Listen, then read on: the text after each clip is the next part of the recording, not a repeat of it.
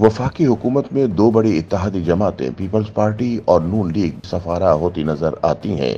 Peoples party اراکین کی جانب سے قومی اسمبلی میں بجلی کی لوڈ شیڈنگ کے مسئلے پر لیگی وزراء کو کھری کھری سنانے کے بعد اب پنجاب میں بھی غیر متوقع طور پر پیپلز پارٹی نے مسلم لیگ نون کی حکومت پر تنقید شروع کر دی ہے۔ اس تنقید کا باقاعدہ آغاز پنجاب میں نافذ ہونے والے نئے حتیٰ کہ عزت قانون سے ہوا ہے۔ مسلم لیگ نون کی حکومت نے حتیٰ کہ عزت قانون بڑی سہولت کے ساتھ پاس کروایا، اپوزیشن اور صحافیوں کے سوا کسی نے بظاہر اس قانون کی تیاری اور اسمبلی سے پاس کرانے میں رکاوٹ نہیں ڈالی۔ جب یہ قانون پنجاب اسمبلی سے پاس ہو گیا تو پیپلز پارٹی کے حال ہی میں پنجاب میں تعینات ہونے والے گورنر سردار سلیم حیدر نے ہلکے سرو میں اس قانون کو تنقید کا نشانہ بنانا شروع کیا۔ انہوں نے اس قانون پر دستخط کرنا تھے تاہم وہ ملک سے باہر چلے گئے۔ تو قائم مقام گورنر پنجاب ملک احمد خان نے چپکے سے بل پر دستخط کر دیے۔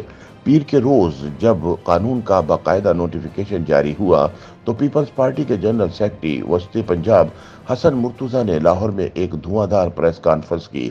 حسن مرتضی نے اس پریس کانفرنس میں یہ الزام عائد کیا کہ اس بل کے حوالے سے ان کی جماعت پیپلز پارٹی سے مشاورت نہیں کی گئی۔ ہم اس بل کے کسی بھی مرحلے پر موجود نہیں تھے، نہ ایوان میں اور نہ کمیٹی میں۔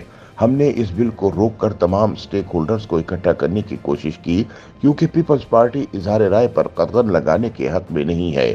انہوں نے کہا کہ ان کی جماعت کوشش کرے گی کہ یہ بل واپس ہو۔ ہم کسی میڈیا دشمن قانون کا حصہ نہیں بنیں گے۔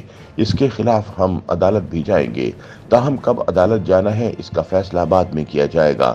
ہم اس لیے بل پر دستخط کرنے کا حصہ نہیں بنے کہ ہم اس میں میڈیا کی جانب سے ترمیم شامل کروانا چاہتے تھے۔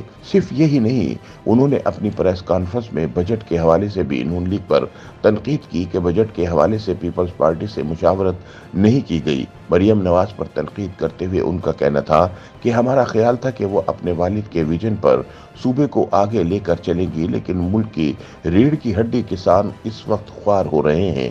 دوسری طرف وزیر اطلاعات پنجاب عظمہ بخاری نے اس موضوع پر بات کرنے سے اعتراض برتا ہے اور کسی بھی قسم کا تبصرہ کرنے سے معذرت کی۔ سیاسی مبصرین کے مطابق پیپلز پارٹی کی نون لیگ پر تنقید ایک سیاسی چال ہو سکتی ہے۔ سینئر تجزیہ کار سلمان غنی کہتے ہیں کہ یہ پہلا واقعہ نہیں ہے کہ اتحادی بجٹ سے پہلے اپنی ہی حمایت یافتہ حکومت پر تنقید نہ کریں۔ یقیناً پیپلز پارٹی بجٹ کے حوالے سے اپنی کچھ شرائط منوانا چاہتی ہے۔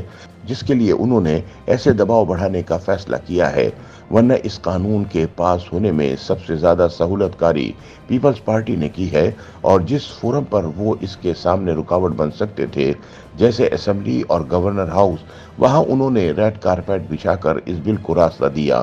دوسری بات یہ ہے کہ پیپلز پارٹی اب کابینہ میں بھی آنا چاہتی ہے، جس کے لیے وہ خیال کر رہے ہیں کہ انہیں مناسب حصہ دیا جائے۔